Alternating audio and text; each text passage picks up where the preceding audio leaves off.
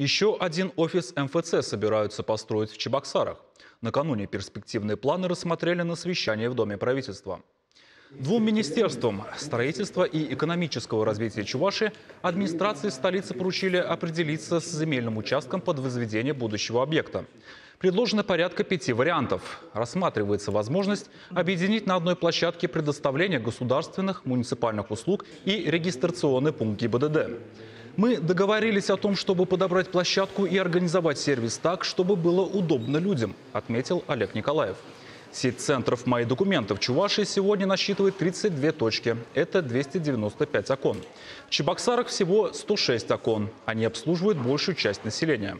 Однако город растет, наблюдается острая необходимость в офисах «Мои документы» в новых микрорайонах.